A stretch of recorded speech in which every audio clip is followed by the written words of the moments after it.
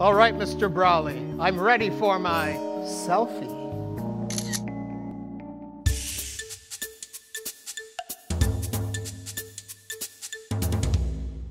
Everybody wants to take a selfie and everybody wants people to see their selfies. So we thought we would give you some tips. So who did we turn to? Harper Waters, who probably is the most recognizable Insta star of Houston these days. How many followers? I have amassed 164,000 followers on Instagram.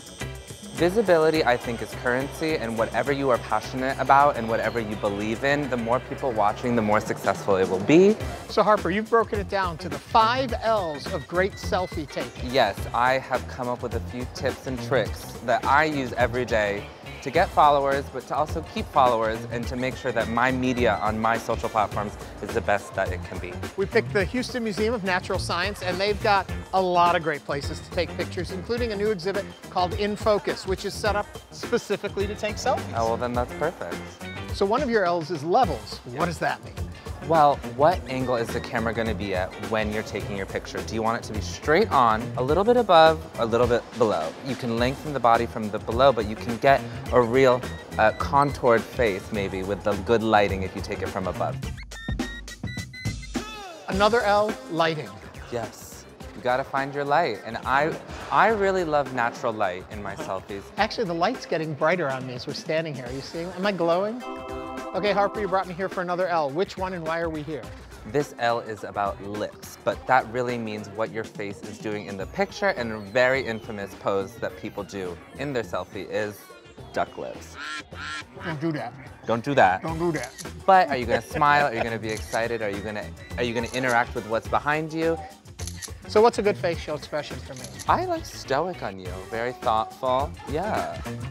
So then we come to the L for loudness. Yes. What does that mean? Well, I mean, how loud do you want to be with your picture? Do you want it to be nice and subtle and simple, clean lines, or do you want it to be bold and extravagant and using lots and lots of props? I brought my bold and extravagant. What do you think? I am actually very impressed. Okay, Harper. Last L, location. You have to find the best location, and I think we have found it here at the In Focus exhibit. We are buried in dinosaurs. We're in the dino pit. Show them how it's done. Let's do it. Let's do it. Good location, good lighting. Cute.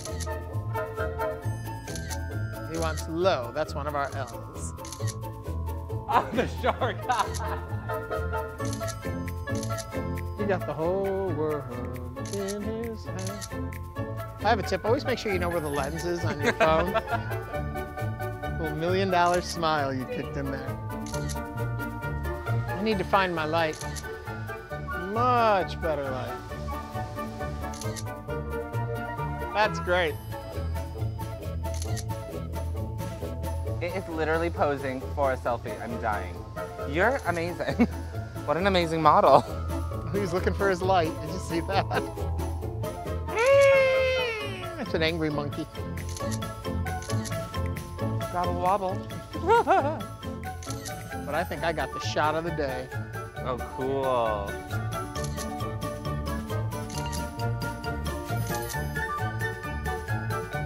Perfect. We're gonna break the internet.